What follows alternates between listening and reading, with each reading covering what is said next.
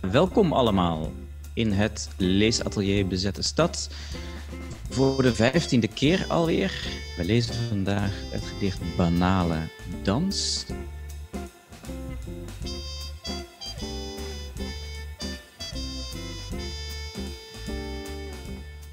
Bezette Stad is uiteraard een bundel die gaat over de Eerste Wereldoorlog. Die Van Ostaaien heeft ons meegenomen in die Eerste Wereldoorlog. Hij heeft ons laten zien hoe Antwerpen werd beschoten, vervolgens werd ingenomen. En vanaf dat moment heeft Van Ostaaien ons meegenomen door de bezette stad. De stad die ineens andere heersers had. En hij heeft ons wijk na wijk meegenomen door de stad. Hij is begonnen in de haven. We zitten nu ja, een beetje in de uitgaansbuurt, die ook niet heel ver van die haven uh, verwijderd is. Gisteren hebben we met elkaar het gedicht Rouwstad gelezen. En Rouwstad, ja, dat is een, een beeld van de stad die ontwaakt naar of ja, reageert op een bombardement. Dit keer niet van de Duitsers, maar van de geallieerde landen. En dat is een thema dat heel veel terugkomt in de bundel. De stad die Van Ostaaien beschrijft, die bezette stad, is een stad in rouw. Het is een stad die tot stilstand is gekomen. En langzamerhand begint er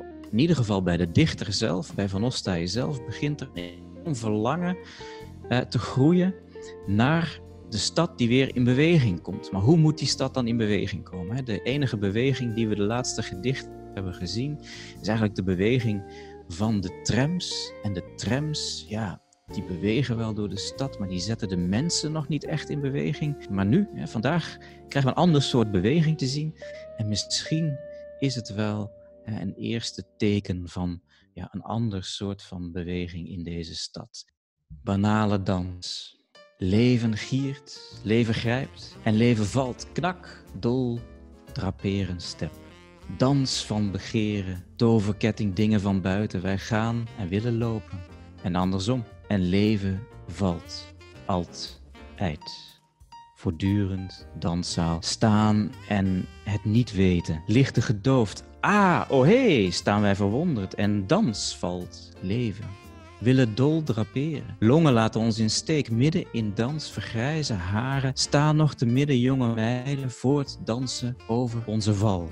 Weten niets van werkelijkheid. Dromend door straten staan. En helder zijn onze droomnachten. Vol feestelijkheid. Een weinig schijn en weinig zijn ontblaarde bomen of violen of banjo's, verteerd worden in onbekende gloed.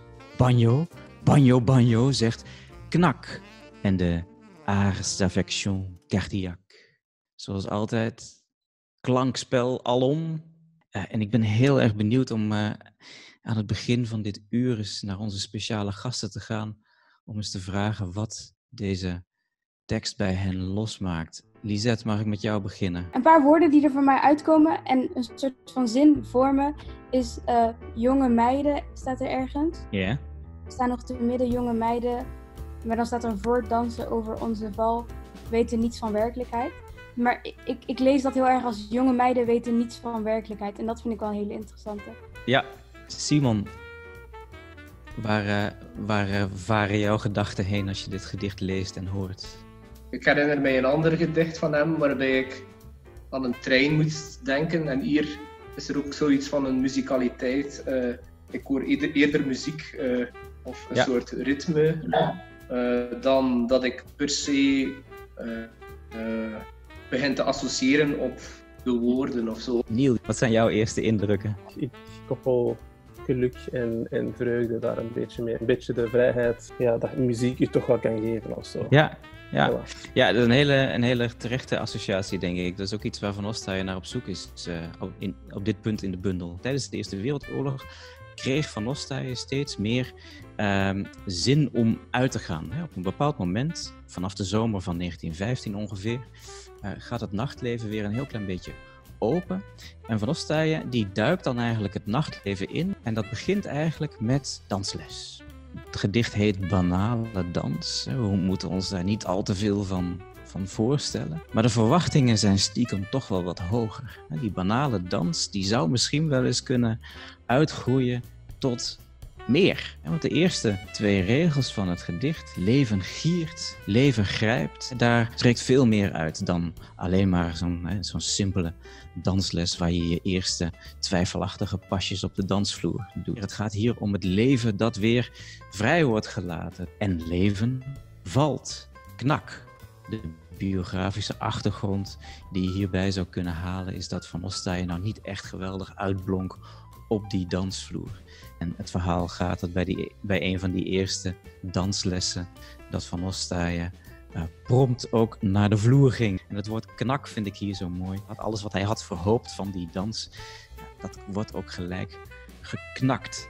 Helemaal aan het begin van het gedicht dans van begeren. Hè. Het is nog steeds meer dan alleen die stapjes die hij moest instuderen. De dans is de uiting van het verlangen zelf, van het begeren zelf. Toverketting, dingen van buiten. Voor mij is dit het moment waarop Van Ostaaien met ons de link probeert te leggen.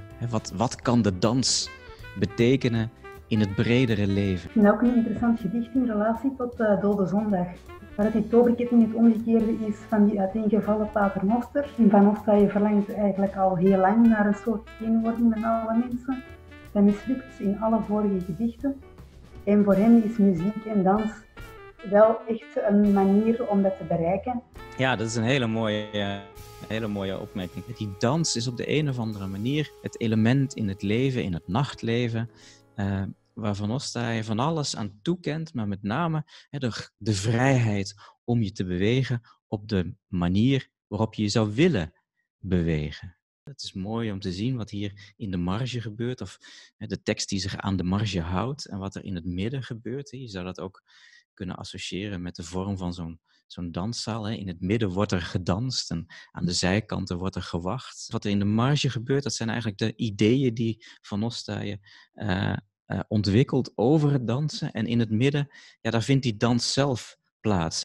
Willen dol draperen, longen laten ons in steek. En ook hier zou je weer wat biografische informatie kunnen introduceren. Het gaat over Van Ostaaij, die eigenlijk niet zo'n geweldige gezondheid heeft gehad in zijn hele leven.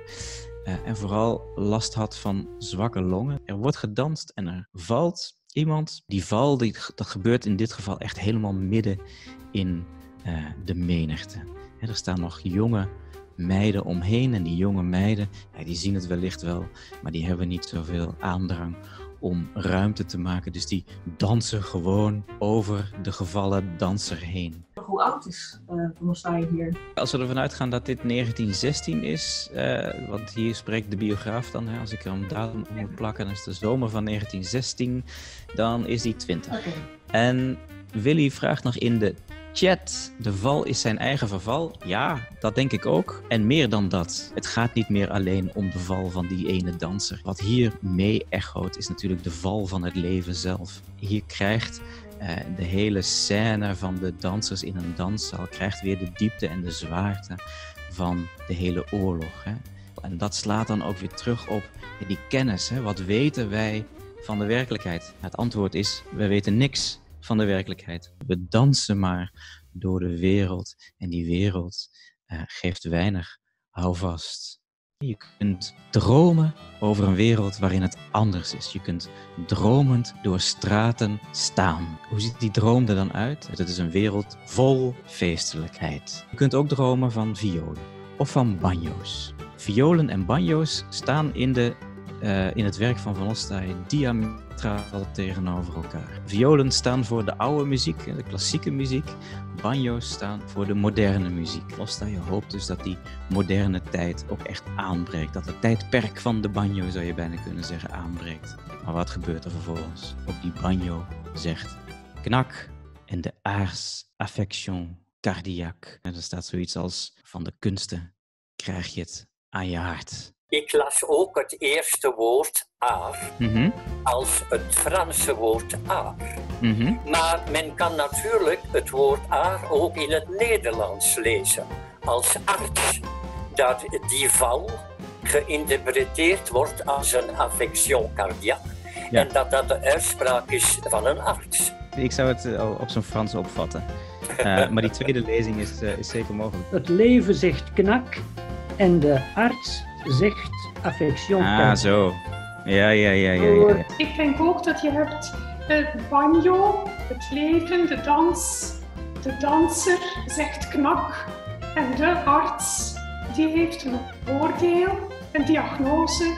En die zegt affection cardiaque. Ja, ik begin langzamerhand begin ik het met jullie eens te worden. Ik kan moeilijk aannemen dat Van Ostaaije eh, in 1920, of wanneer is het, het woord arts zou gebruikt hebben als Vlaming, als Antwerpenaar. Eh, wij spraken van een dokter, hè? meneer Ja. dokter, de dokter, arts, dat is een hedendaags, een modern woord. Het was een dokter. Kijk, Dus ik zou het vreemd vinden, die interpretatie als eh, arts, dat woordje. even kijken. Ja, we hebben dus, zijn erin geslaagd om eh, twee kampen te creëren, namelijk het eh, kunstenkamp en het artsenkamp. En ben ik heel erg benieuwd wat dit uur heeft eh, bewerkstelligd in de hoofden van de kunstenaars die we vandaag hebben uitgenodigd om hierover na te denken. Willy, mag ik bij jou beginnen? Heb je, ben je anders naar het gedicht gaan kijken ondertussen? Wel, vooral nu door die, al die bespiegelingen en eh, commentaren ben ik het zelf als één groot ja, liefdespel gaan lezen eigenlijk. Waar er veel gegrepen en begeerd wordt. Ja. Wat mij heel hard pakte was de. ehm, we weten niets van werkelijkheid, dromen door straten staan. Ja, mensen weten niet goed wat er eigenlijk aan het gebeuren is. En langs de andere kant is er dan toch dat speelse of zo, dat ik nog altijd. Dat dansen en banjo, banjo, banjo. Lisette, hoe, eh, hoe heb jij het beleefd het voorbije uur en heb je al kleine ideetjes voor wat je ermee zou kunnen doen? Wat mijn perspectief heel erg had veranderd, was wanneer iemand vroeg hoe oud hij was in die tijd. En in mijn hoofd was hij veel ouder dan 20. Ik dacht ik wel van, oh, dit is iemand die eigenlijk nog, die nog moet gaan, die nog moet leven of zo. En die ehm, dan in zo'n ehm, periode komt of zo. Ja, nee, dat is inderdaad eh, heel belangrijk om te beseffen. Dit zijn jonge mensen die eh, hun leven ook gewoon ja, tot stilstand zien komen op het moment dat het net had moeten beginnen. Ik, ben heel erg benieuwd wat jullie allemaal gaan maken. Ik wil jullie allemaal enorm eh, veel bedanken, enorm bedanken voor ja, de geweldige inbreng. Alweer vandaag. Tot ziens. Dag.